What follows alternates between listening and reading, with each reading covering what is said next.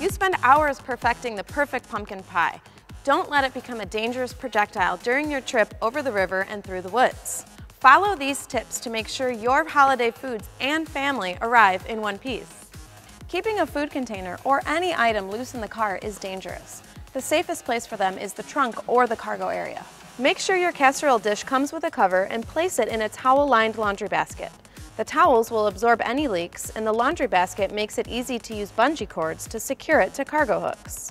If you don't have a spare laundry basket, you can try the same thing with a cooler instead. Use a cake or pie carrier, like this one, to make sure you get that pie safely to Granny's house. If the back seat is empty, place the carrier on the floor behind the seat to keep it from sliding.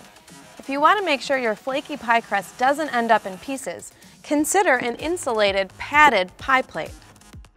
Keep your candied yams in your slow cooker by investing in one with a lockable lid, which keeps leaks at bay and your food secure.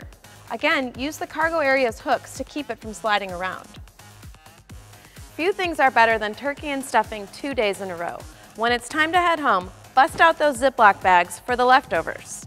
They're leak resistant, easy to transport in your purse or bag, and your host will appreciate that you're not trying to adopt a piece of Tupperware.